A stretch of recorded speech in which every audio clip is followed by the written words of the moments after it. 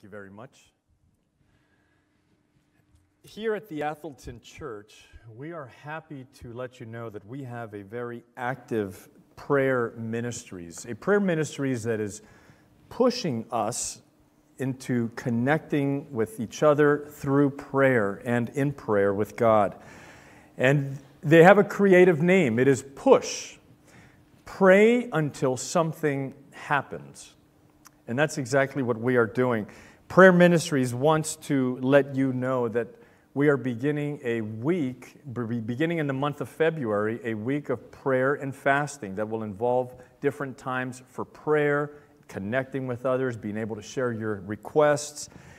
Tomorrow, Sunday at 7:30, there will be a time of prayer, and there will be a devotional time up front that will be by Pastor Sean Paris. Some of you may be familiar with him. And so, how do we get this link? How do we join this prayer? Well, email Phoebe Roberts. Fabian Roberts is our prayer ministries coordinator now. Email her at the email on your screen to obtain the link if you haven't already done so. In every good relationship, there is something honorable about confirming in someone that which they may already know there comes a time, even in the best of relationships, that reinforcing something that is already understood, even in new ways, is important. That is why employers or supervisors would do well to affirm their workers every now and then about how good they are doing. Husbands, it would do well to repeat their love for their wives, and wives for their husbands. Every night, Denny and I will say to each other before we go to sleep, I love you, even if we've had an argument earlier that day. And to be honest, even if I wasn't even feeling it. Why? Because the principle of love far exceeds the vacillating feelings. And so it's always good to affirm that. Parents, to repeat that, their love to their kids. I'm proud of you. I'm so happy to be your daddy. And children, if we still have our parents, it would be honorable to remind them as well about how important they are. There's a preacher who once said, his name John Rengifo, who said, We often take for granted those whom we couldn't do without. God exercises such qualities with his children. And he exercises that quality specifically with his son. And we're going to see that that was exercised in a gift that the, that the father gave to his son. It was a gift that was really for our benefit today. Now, everybody likes gifts, don't you? I like receiving gifts every now and then. Have a gift for you. Oh, wow. And it just couldn't wait. So there you go. How special. Thank you, Julia. Oh, you're welcome. It's so special that I'm going to have to set it aside. Thank you so much. Wow, it, it looks great. It's a great gift. We begin our study today with an incredible experience on the mountain. God is going to do something for his son that no human eye has ever seen, and that which we will only see when Jesus comes again. We pick up the story upon a rugged path atop a mountainside. Jesus and his three closest disciples are weary from the climb. Yes, the Son of God, encompassed by the limitations of humanity, was weary. It is evening, and the setting sun has faded now behind the mountain. Jesus and his three closest disciples. Why? Why only Peter, James, and John? Because only these three would be chosen to witness his anguish in Gethsemane. And so there was a certain heaviness about them, and Jesus knew it because just days before, Jesus had predicted his death. that he would suffer many things at the hands of the chief priests and the elders. And said one author that the gloom of their surroundings seems to be in harmony with the sorrow in their own hearts. And so this morning we pick up our story in the Gospel of Matthew, chapter 17. Would you please take your Bible there where you are at home? I know some, sometimes you may be preparing lunch and listening to the sermon, kids are doing something else, but wherever you are, pause and pick up your Bible Let's turn to Matthew chapter 17. Matthew chapter 17, the first book in the New Testament. And we look at this story of something incredible that the Father did for his Son, a confirmation that the Father had in honor of his Son for the benefit of those who were witnessing. Matthew chapter 17 we're going to read the first three verses here at first. We'll put it for you on the screen. It says, After six days, Jesus took with him Peter and James and John, his brother, and led them up a high mountain by themselves. And he was transfigured before them, and his face shone like the sun, and his clothes became white as light. And behold, there appeared to them Moses and Elijah talking with him. He was still speaking when, behold, a bright cloud overshadowed them, and a voice from the cloud said, This is my beloved Son, with whom I am well pleased. Listen to him. Here we have, in, this is verse 5, jumping to verse 5, what we see is the very presence of Christ was transfigured before Peter, James, and John. Jesus had taken his disciples up this high mountain. They were weary, it was getting dark. But Jesus knew that there was a certain heaviness because he had predicted that he would depart from them. And even though they didn't fully quite understand what Jesus was referring to, they suspected that there would be something ominous. And so Jesus knew that his disciples would need a confirmation of his divinity to prepare them, to buoy their faith for the hour of darkness. And my friends, the Bible tells us that there was this radiance that just covered Jesus, this splendor, this luminosity that covered Jesus. And there, as the disciples are praying, as they see their Lord praying, this brightness is, it was so vast and so intense that they fell to their faces. The Bible records that the disciples recognized these two messengers who came to Jesus. Now, this is beautiful here.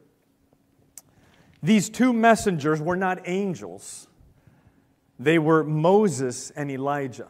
And so you can picture that the disciples are they're, they're trying to make sense.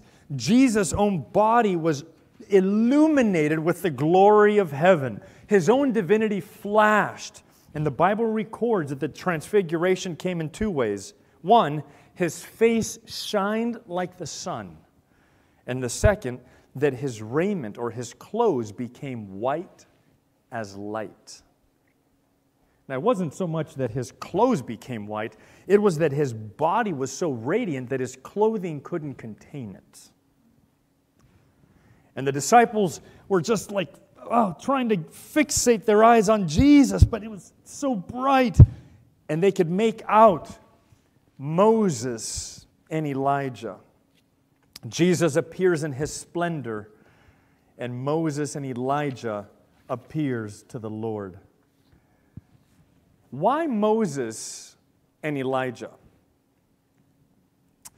They were men who had endured sorrow and thus could sympathize with Jesus in the trial of his earthly life.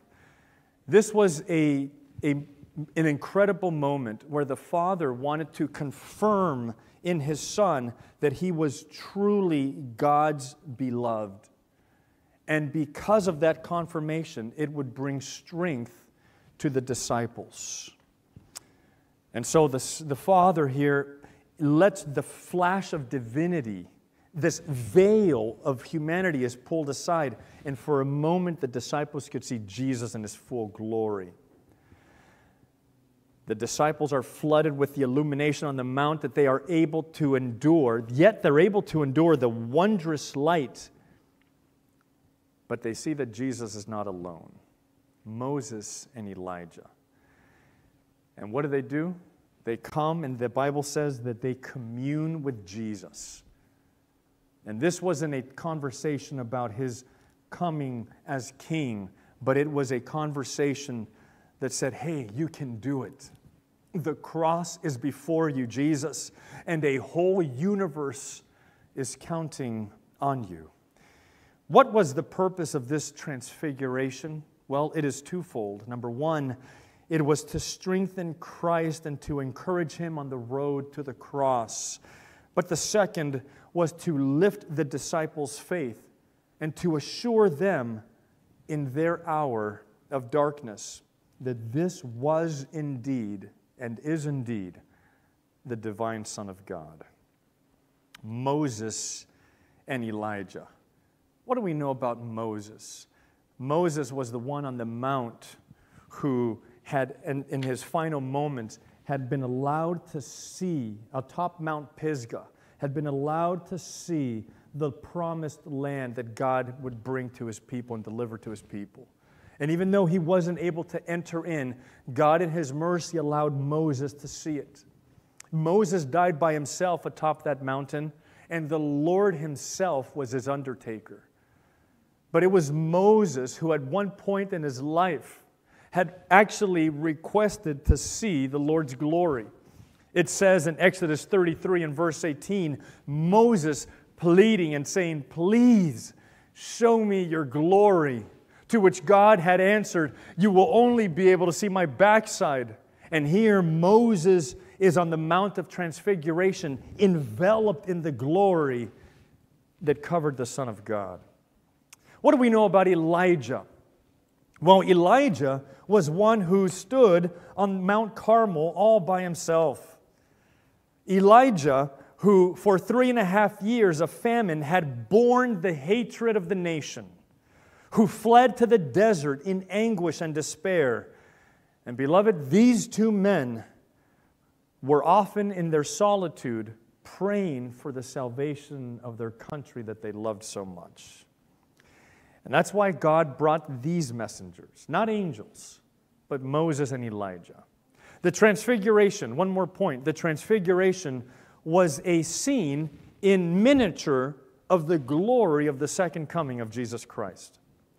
You see, the Bible tells us that Moses and Elijah were there, that Christ radiated in his glory, and it will be again when Jesus comes again. When Jesus comes, my friends, Moses would represent those living saints who would be raised back to life. And Elijah would represent that company who would be translated without seeing death. And these two are there in microscopic significance, a picture of the glory of the second coming. Even these loved disciples needed this confirmation. You see, it is honorable. God did something honorable for his son to affirm his divinity, even though Jesus knew where he stood with God.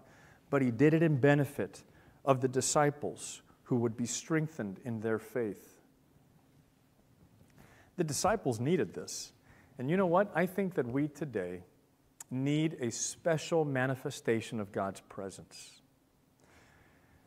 Even these loved disciples who were self absorbed, absorbed in their own doubts, in their own ambitious hopes, they had to learn that before the crown must come the cross.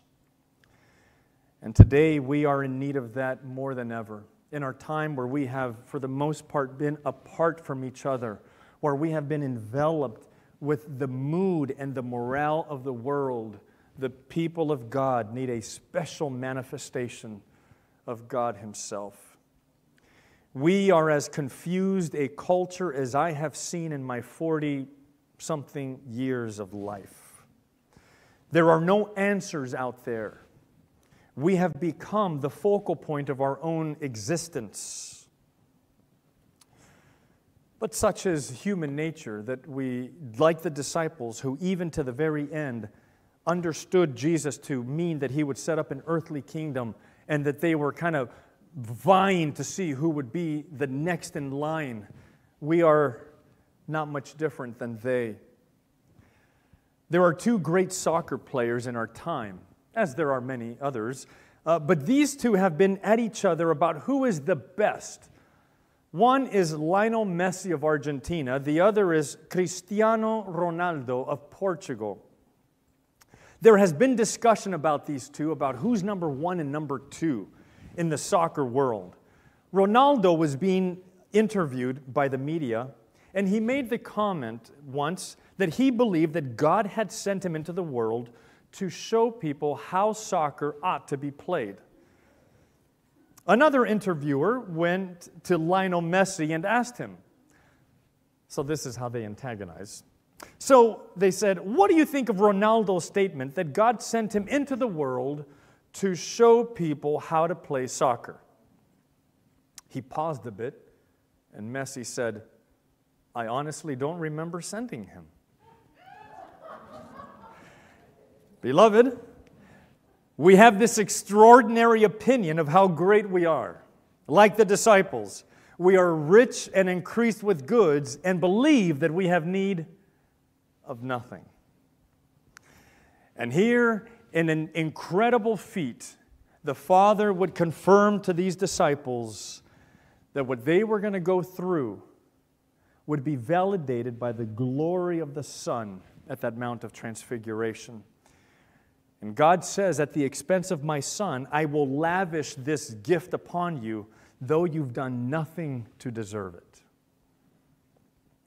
The transfiguration was only part of the preparation of that which Jesus really wanted to gift his disciples with. And what was that? The outpouring of the Holy Spirit. Julia, I want to thank you for this gift. What if I tell Julia, wow, you know, this is great. I, I love it. Thank you so much. But what would really mean a lot to her is if I opened it, right? Much the same, we have done this with the gift that God has given us. We've been wowed by it, we have been seemingly appreciative of it, but we have yet to actually acknowledge and to receive it in its fullness. And God has lavished upon His church the Holy Spirit. The transfiguration, as I said, was only part of the preparation for what would be truly the gift. You see, my friends, the outpouring of the Holy Spirit was in like what the transfiguration was on top of that mountain. The transfiguration honored the Son's request in preparation for Calvary. But there would be another confirmation of the Son in honor and vindication of the completed sacrificial mission, which was his life. And that is the gift of the Holy Spirit. Without Calvary, Pentecost would never have occurred. And without Pentecost, Calvary would not have mattered. Just as the transfiguration on the Mount was heaven's confirmation of the splendor and majesty of Jesus, so the Pentecostal outpouring was heaven's confirmation that the Redeemer's work was accomplished and accepted. Many years later, Peter, who witnessed the transfiguration, wrote from his prison cell these words. Notice what it says in 1 Peter 1:16. For we did not follow cunningly devised fables when we made known to you the power and coming of our Lord Jesus Christ, but were eyewitnesses of his majesty. And Peter goes on to describe that what they witnessed there was not only the Lord in his glory, but Peter describes this is also We heard him. By the way, that should be 2 Peter chapter 1 verse 16. Our PBE team would be familiar with this passage. And it goes to say in verse 19, we have also a more sure word of prophecy, whereunto you do well that you heed, or you take heed, as unto a light that shines in a dark place, until the day dawn and the day star arise in your hearts. Here is Peter, an old man. He knows that his fate is about to be sealed by his own blood. He knows. And here Peter writes to encourage the believers throughout time. He says, We were eyewitnesses of his majesty. We saw it. We heard the voice that came from the cloud. One translation said that there was a voice that came both from nowhere and from everywhere because they didn't know where it came from. We heard that voice. We saw his glory. We were eyewitnesses to his majesty. And Peter says, even though we saw it, yet we still have a more sure word of prophecy. What does that mean, Peter? He says, even though I saw this with my own eyes, we can place more confidence in the written word that the Spirit has inspired.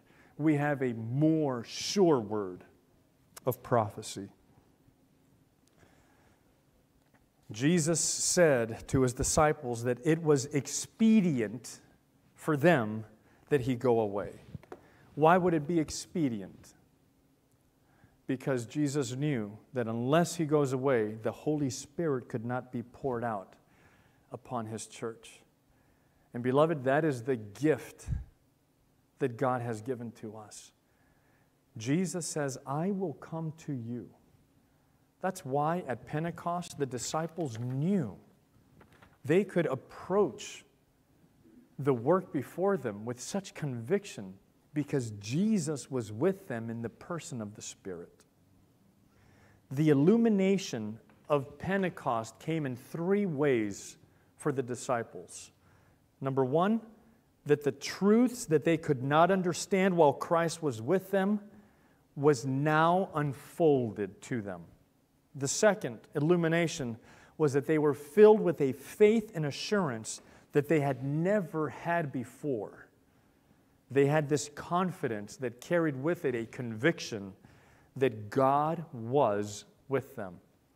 And the third thing that Pentecost brought to them was that their hearts were filled with a love. A love so deep, so far, so full, that they had an intense longing to carry forward the work that Jesus had begun. This is what they were filled and illuminated with at Pentecost. Pentecost was God's gift to his church. The outpouring of the Holy Spirit, that gift which Peter had said to the people who were cut to the heart, he says, Repent and be baptized in Acts chapter 2. Repent and be baptized for the remission of sins, and God will give you the gift of the Holy Spirit there were two major shifts in the Hebrew thinking.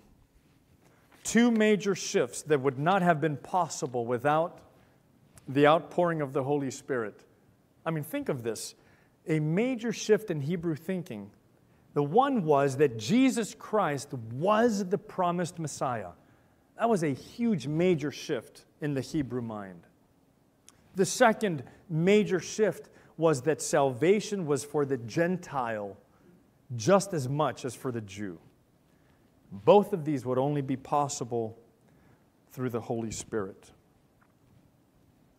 You know, atop the Mount of Transfiguration, we're told that when Jesus finally was left alone, when Elijah and Moses had departed, and the glory, the apparent visible glory had left, the disciples were still down, prostrated to the ground. And the Bible records that God, in the form of his Son, comes and he touches them. Here, these disciples who had been blinded by the light, by the glory and the splendor and the luminosity that filled the Son of God, here they were, and a hand touches them. And they looked up, and the Bible records that they saw no one except for Jesus. He was their vision. There was no one there save Jesus.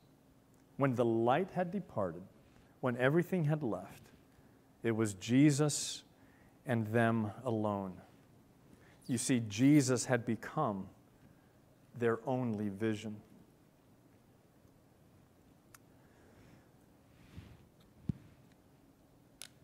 The 20th of January this year, we saw the inauguration of the new president.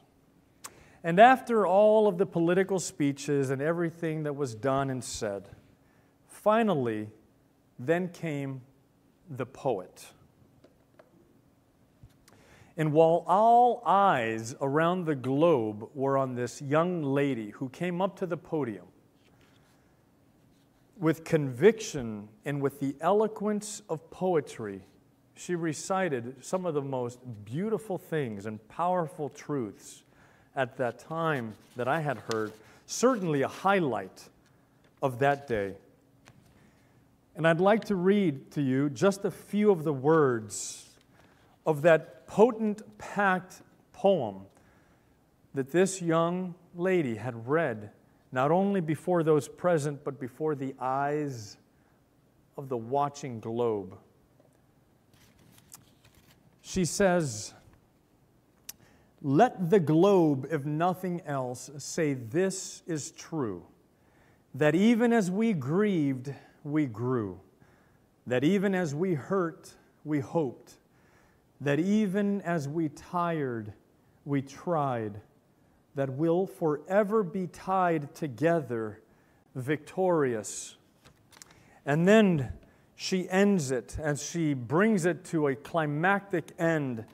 She says this at last When day comes, we step out of the shade aflame and unafraid. The new dawn blooms as we free it for there is always light if only we're brave enough to see it, if only we're brave enough to be it. After all of the political speeches and everything was done, then came the poet. And the poet brought light to the hour of our day, brought a perspective that we needed to hear. My dear friends, God says to you and to me that at the expense of my Son, I have lavished this gift upon you, even though you've done nothing to deserve it. When the disciples rose, all they could see was Jesus. Today, we need, as a church of God, in this day, a new manifestation of the glory of God when it seems that Jesus is not active in his church, then you can expect something extraordinary to take place. Listen here, watching from home. Never lose sight of the fact that what we are seeing take place in our world today is the outcrop of the great controversy between Christ and Satan. If we lose that perspective, you will become fixated on what you see and what you hear, and it will change you. Jesus said, Heaven and earth will pass away, but my words will never pass away. And in a vastly changed world, we have very few certainties, especially today. But the certainties that we do have, I am more certain of today than at any other time in my life of God's presence with us, of His love and of His comfort, and that Jesus is coming again. And so don't let yourself get wrapped up in what do I see? What do I feel? What do I think? No. It's what do I know? What do I know? And this I know that Jesus is still guiding his people, and he is with you today, and he is providing for you and strengthening you, dwelling in you through the Holy Spirit. Let that be your prayer today. Be thou, Lord, my vision. Be thou my vision.